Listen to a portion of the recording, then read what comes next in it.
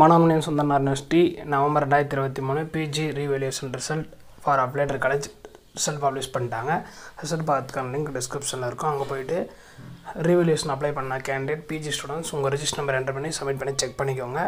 ஃபர்தராக university department ஸ்டூடெண்ட்ஸுக்கு next வீக்கெண்டுக்குள்ளே யூனிவர்சிட்டி வெப்சைட்டில் ரிசல்ட் பப்ளிஷ் பண்ணிடுவாங்க.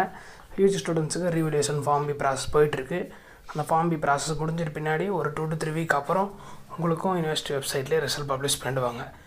ஃபர்தராக யூஜி ஸ்டூடெண்ட்ஸுக்கு ரீவேல்யூஷன் ரிசல்ட் பப்ளிஷ் பண்ணாங்கன்னா வீடியோ அப்லோட் பண்ணுறோம் நெக்ஸ்ட்டு ப்ராசஸ் வந்து April or May twenty twenty four எக்ஸாமினேஷனுக்கு fees collection process ஆன்லைனில் ஓப்பன் பண்ணி கொடுத்துருவாங்க. ரீவேல்யூஷன் ரிசல்ட் வந்த பின்னாடி அதுக்கான போர்ட்டல் ஓப்பன் ஆன பின்னாடி வீடியோ அப்லோட் பண்ணுறோம் தேங்க்ஸ் ஃபார் வாட்சிங்